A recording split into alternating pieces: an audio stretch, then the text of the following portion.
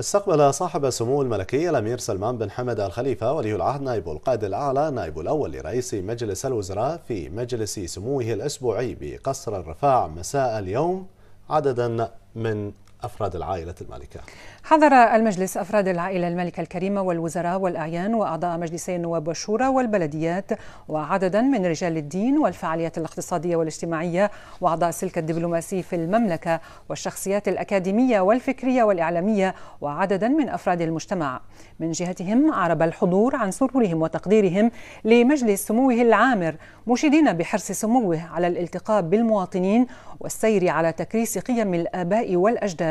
والحفاظ على الروح الأصيلة للمجتمع البحريني ونسيجه وهويته الجامعة منوهين بجهود سموه في تعزيز أسس التنمية المستدامة لتحقيق المزيد من الرخاء والتقدم في العهد الزاهر لحضرة صاحب الجلالة الملك حمد بن عيسى الخليفة عاهل البلاد المفدى حفظه الله ورعاه وما تليه الحكومة الموقرة من سعي متواصل نحو مستويات أفضل من التنمية والخدمات وتأمين الحياة الكريمة للمواطن.